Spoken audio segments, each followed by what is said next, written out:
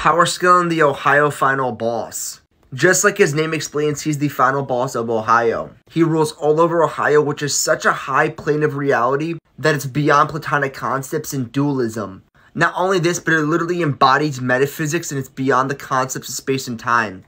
Meaning that Ohio boss within the memeverse is outer versal, outside the memeverse, he's infinite boundless. And this is base Ohio final boss. He also has a stand made in Ohio, which literally puts him beyond people like the likes of Giga Chad, and even people like Metro Man who stand on the top of the memeverse. In conclusion, Ohio Final Boss in his base form is strong in the memeverse, but once he activates his stand, he's at the very top, right below Jamal.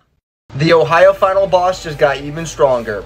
This man has gotten power up after power up. He's got the ability of Made in Ohio, which gives him the ability to fully harness the power of Ohio. He has Wonder of Ohio.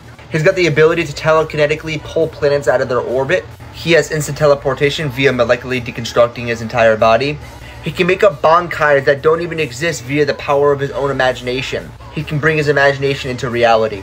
He's able to stop time, as shown from this scan right here, and he can even perform Shadow Clone Jutsu. And now we can harness the power of Auredia via Nature of Auredia.